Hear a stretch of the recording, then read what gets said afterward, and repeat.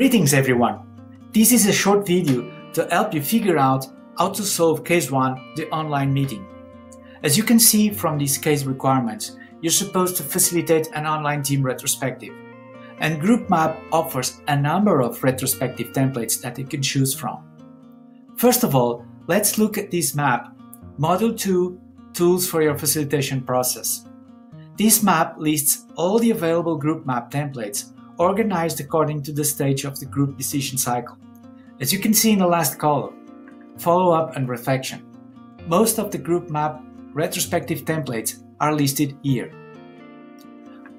Besides, within GroupMap, whenever you want to create a map, if you choose retrospective, retrospectives category, you'll see listed all the available retrospective templates in GroupMap.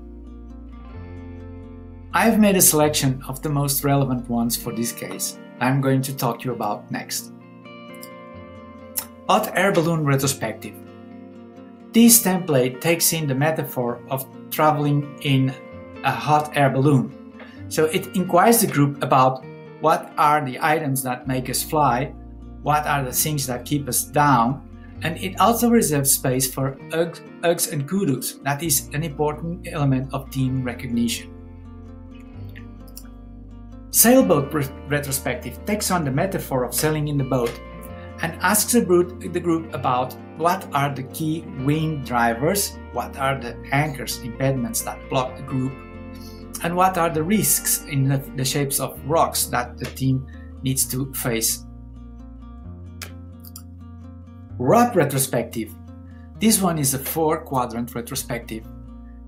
And be aware that with a four quadrant retrospective, you're going to probably spend more time with your team on the items. It's different four quadrant than the, a simpler three quadrant retrospective. Wrap retrospective take, takes on four elements wishes for an ideal sprint, appreciations, what you liked, risks, future pitfalls, puzzles, unanswered questions.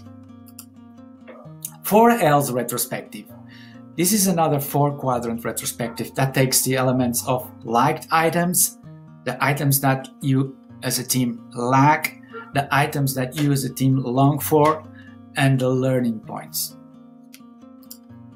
DAKI retrospective, it's another four quadrant retrospective that takes in items that should be dropped, items that should be kept, items that the team should be adding, and in improvement area.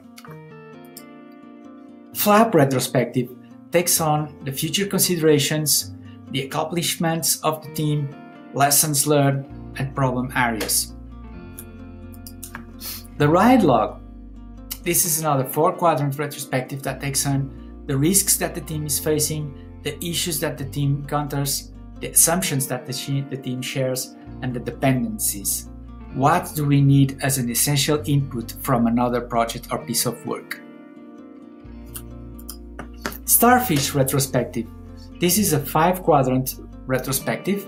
It inquires the group about the activities that it should start doing, the activities that the team should stop doing, of course, also the activities that the, should, the team should keep doing, and what should the team do more of, and what should the team do less of. Remember, this is a five quadrant retrospective, so you allow for more time in case you choose a starfish retrospective.